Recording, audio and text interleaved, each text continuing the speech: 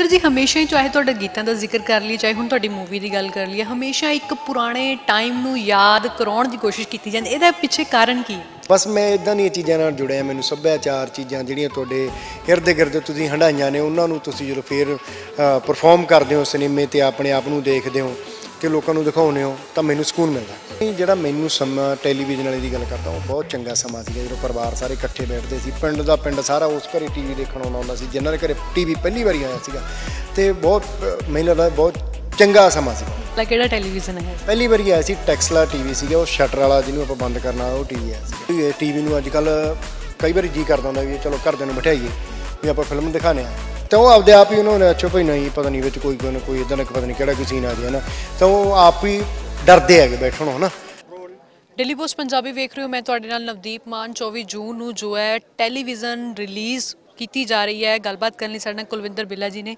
ਬਿੱਲਾ ਜੀ ਅੱਜ trailer release ਹੋਇਆ ਹੈ। ਇੱਕ ਚੈਲੰਜ ਵੀ ਲੱਗਦਾ ਹੈ ਵੀ ਕਾਫੀ ਸਮੇਂ ਬਾਅਦ ਇੱਕ ਇਦਾਂ ਦੀ ਮੂਵੀ ਆਈ ਹੈ ਜੋ ਸਾਡੇ ਪੁਰਾਣੇ ਟਾਈਮ ਨੂੰ ਯਾਦ ਕਰ ਰਹੀ ਹੈ। ਬਿਲਕੁਲ ਬਿਲਕੁਲ ਟੈਲੀਵਿਜ਼ਨ ਮੈਨੂੰ ਬੜੇ ਦਿਲ ਤੋਂ ਫਿਲਮ ਬਣਾਈ ਹੈ, ਬੜੇ ਸਮੇਂ ਤੋਂ ਇਹਦੀ ਉਡੀਕ ਸੀ ਕਦੋਂ ਅਸੀਂ ਰਿਲੀਜ਼ ਕਰਾਂਗੇ।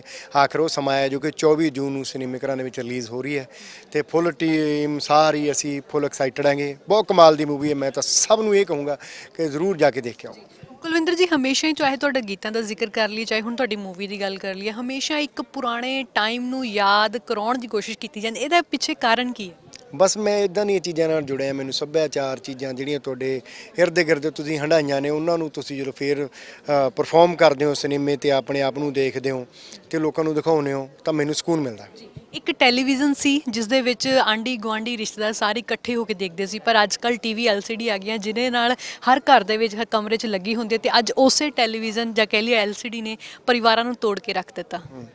ਬਿਲਕੁਲ ਬਿਲਕੁਲ। ਦੇਖੋ ਸਮੇਂ ਦੇ ਅਕੋਰਡਿੰਗ ਹਰ ਇੱਕ ਚੀਜ਼ ਨਵਾਂ ਨਵਾਂ ਦੌਰ ਆਉਂਦੇ ਆ ਨਵੇਂ ਨਵੇਂ ਕ੍ਰੀਏਟੀਵਿਟੀ ਹੁੰਦੀਆਂ ਨੇਗੀਆਂ ਹਨਾ?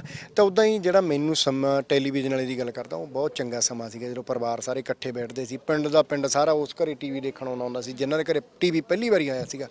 ਤੇ ਬਹੁਤ ਮੈਨੂੰ ਲੱਗਦਾ ਬਹੁਤ ਚੰਗਾ ਸਮਾਂ ਸੀਗਾ। ਘਰ ਦੇ ਵਿੱਚ ਸਭ ਤੋਂ ਪਹਿਲਾਂ ਕਿਹੜਾ ਟੈਲੀਵਿਜ਼ਨ ਆਇਆ ਸੀ? ਪਹਿਲੀ ਵਾਰੀ ਆਇਆ ਸੀ ਟੈਕਸਲਾ ਟੀਵੀ ਸੀਗਾ ਉਹ ਸ਼ਟਰ ਵਾਲਾ ਜਿਹਨੂੰ ਆਪਾਂ ਬੰਦ ਕਰਨ ਵਾਲਾ ਉਹ ਟੀਵੀ ਆਇਆ ਸੀਗਾ। ਘਰਦਿਆਂ ਦਾ ਜ਼ੋਰ ਪਾ ਕੇ ਲਿਆ ਸੀ, ਲੜ ਕੇ ਲਿਆ ਸੀ ਜਾਂ ਫਿਰ ਨਾਰਮਲੀ ਘਰਦਿਆਂ ਨੇ ਦਵਾਤਾ ਸੀ? ਨਹੀਂ ਮ- ਜ਼ੋਰ ਪਾ ਕੇ ਤਾਂ ਨਹੀਂ ਸੀ ਲਿਆ। ਡੈਡੀ ਮੇਰੇ ਗਵਰਨਮੈਂਟ ਜੌਬ ਕਰਦੇ ਸੀਗੇ ਤੇ ਪਿੰਡ ਦੇ ਵਿੱਚ ਇੱਕ ਦੋ ਬੰਦੇ ਸੀ, ਮੈਨੂੰ ਜੌਬ ਗਵਰਨਮੈਂਟ ਜੌਬ ਵਾਲੇ ਤੇ ਉਹ ਥੋੜਾ ਜਿਹਾ ਐਡਵਾਂਸ ਸੀਗੇ ਪਿੰਡ ਵਾਲਿਆਂ ਤੋਂ।